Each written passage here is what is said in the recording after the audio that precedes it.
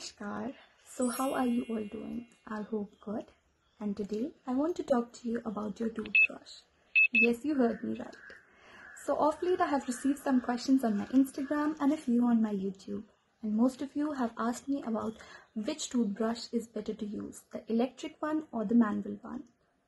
And some of you have even asked me which toothbrush bristle is better to use. So, firstly, you guys know so much already, so a big thumbs up to you. And secondly, a big, big thank you to all of you as I really appreciate you people asking me questions and connecting with my videos. So, to begin with,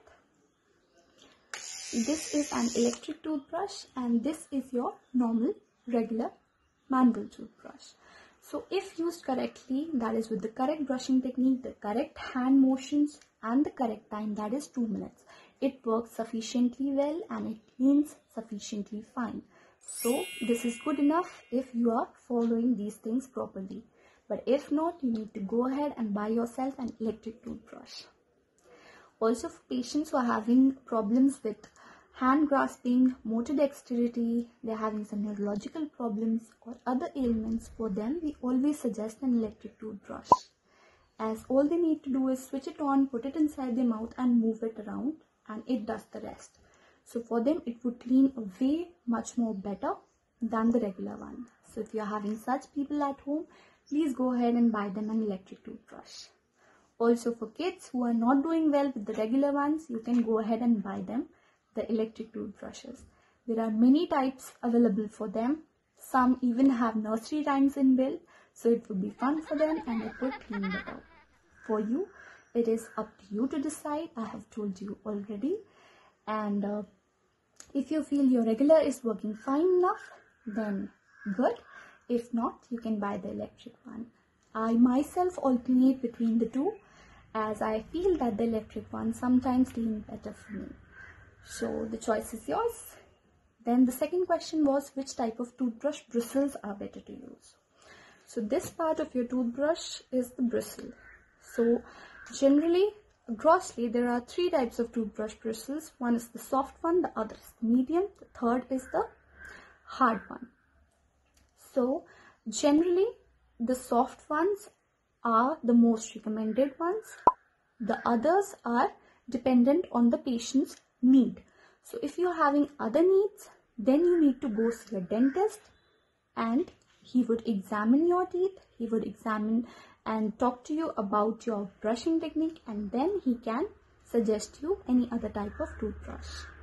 But generally you can yourself go for a soft bristle toothbrush. So that is sufficient for you. Then coming to the toothbrush handles. So there are different kinds of toothbrush handles also available. Some people prefer the longer handles as they feel they can reach their last tooth with it some say that the shorter ones are better as they can move it around easily in their mouth.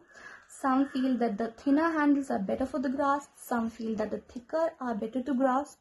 So that is upon your need. Whatever you feel is working better for you, you can choose among them. You can search Amazon for these as they have a list of different kinds of toothbrush handles. From there you can select the one which suits you better. Then coming to a very important part, when to change your toothbrush. So it is recommended every two to three months you need to change your toothbrush. For the electric ones, it has got changeable heads, so you just need to change the head. But if you feel that your toothbrush is fraying, fraying means you see this, it has gone like this, the bristles. So if this has happened even before two months, then you need to change it. Also, if this has happened before two months, this means you are not brushing properly, you are being too harsh on your tooth, you are being too forceful, or you're following the wrong brushing technique. So you need to check that up as well. Then I would also say that if you have recovered from even a common cold and flu or you have recovered from a viral infection, then also please change your toothbrush.